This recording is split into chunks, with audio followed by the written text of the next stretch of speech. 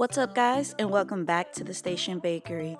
In today's video, I'm going to show you how to make these delicious dunkable cookies with the silkiest, smoothest, most delicious buttercream frosting ever. If this is something that you would like to make, then keep watching.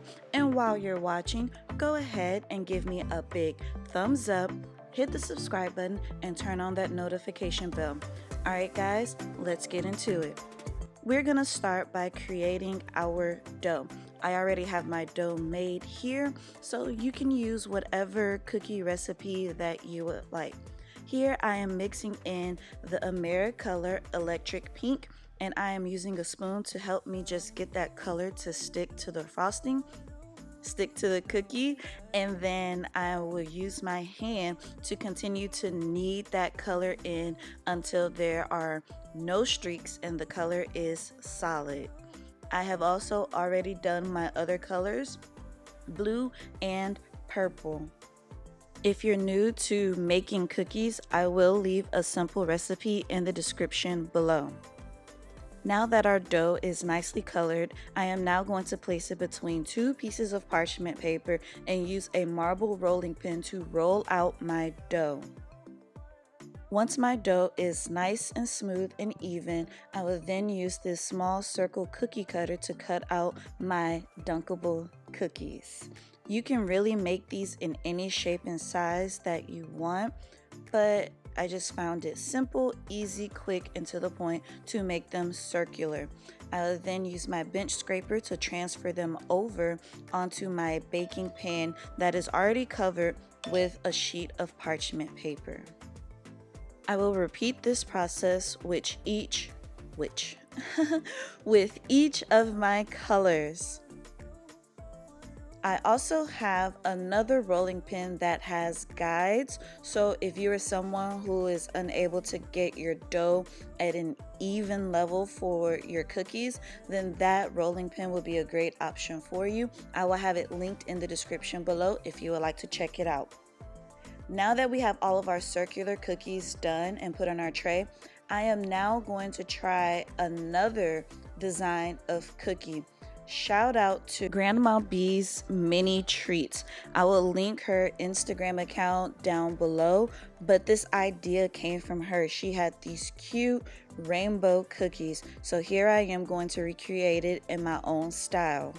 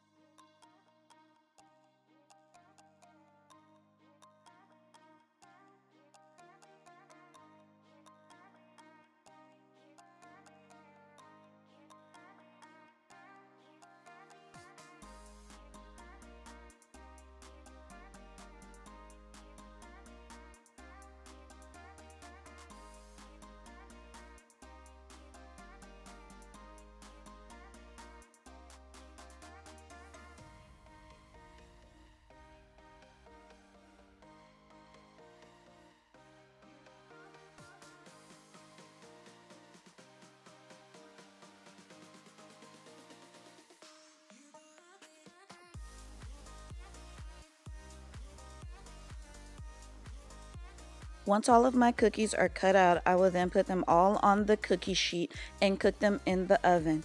While they're cooking, I will go ahead and start on my silky smooth frosting.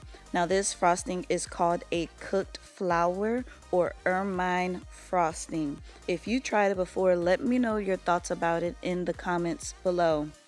Alright guys, so here you'll see that I messed up this first batch. I cooked it too high, too fast, and I thought adding this vanilla was going to save it. It didn't.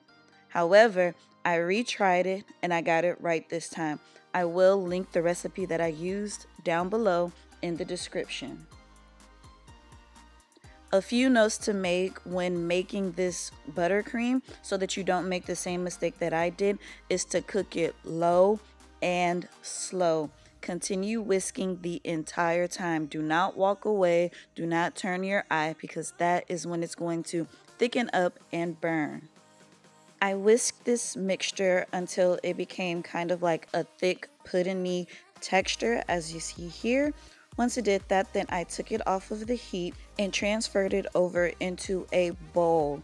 After that, I then poured in my vanilla. You can use any flavoring that you would like, but I used vanilla for this. And then I just whisked that together, placed a piece of saran wrap over it to keep it from forming a skin, and then chilled it in the refrigerator to bring it down to a cool temperature.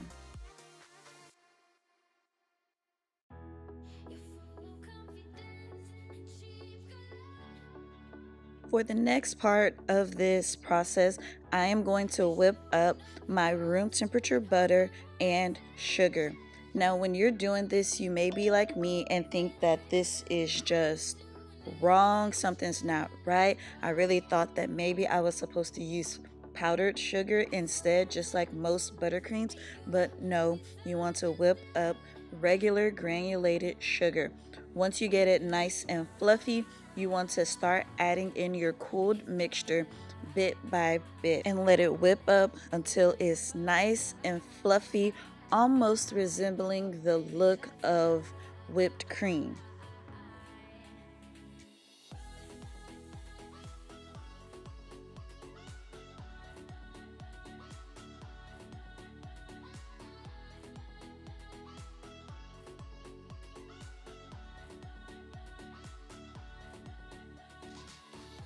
Once your buttercream has whipped up, remove it from your mixer and then it's ready to use. It's nice and silky smooth. It's not too sweet and it's just really a beautiful, beautiful buttercream.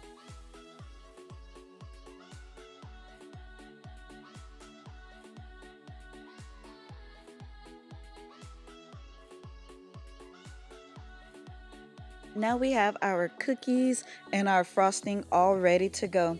Look at how cute these dunkable cookies came out. Look at that color, how strong it is.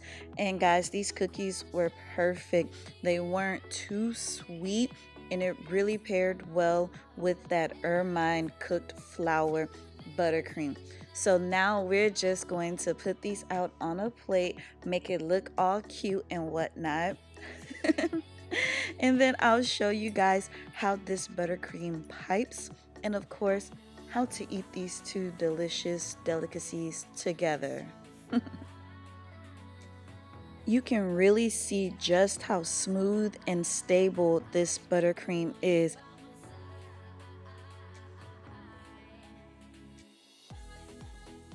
Look how beautiful this combination is and watch how silky smooth this frosting is. Guys, if you're looking to sell these, keep watching to the end of this video for an idea on how to package these. I thank y'all for coming and supporting me. Please be sure to like, subscribe, and turn on that notification bell so you know when I post my next videos. All right, guys, as always, until next time, peace. Hey friends, if you're still watching, go ahead and check out these videos next.